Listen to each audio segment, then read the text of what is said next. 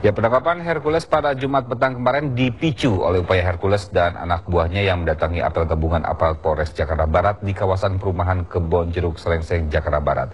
Apel siaga dilakukan setelah aparat kepolisian mendapatkan aduan dari masyarakat terkait aksi dugaan pemerasan yang dilakukan oleh kelompok Hercules.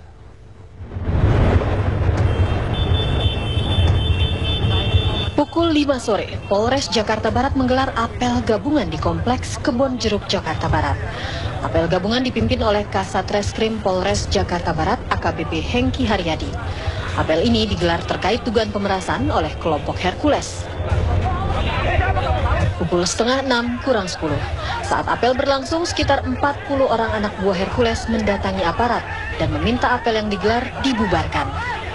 Beberapa anak buah Hercules melempari kaca dan bangunan ruko di lokasi kejadian.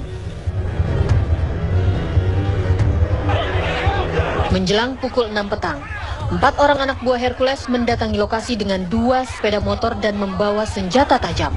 Polisi akhirnya mengamankan empat orang itu.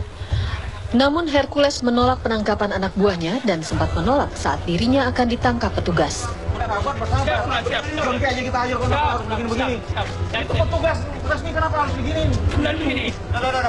Tepat pukul 6 petang dengan dibantu personel Resmo Polda Metro Jaya, aparat Polres Jakarta Barat kemudian menyisir lokasi dan sekitar kediaman Hercules. Keributan sempat terjadi dan polisi melepaskan tembakan peringatan. Aparat akhirnya mengamankan Hercules dan anak buahnya. Lima puluhan orang ditahan di Polda Metro Jaya.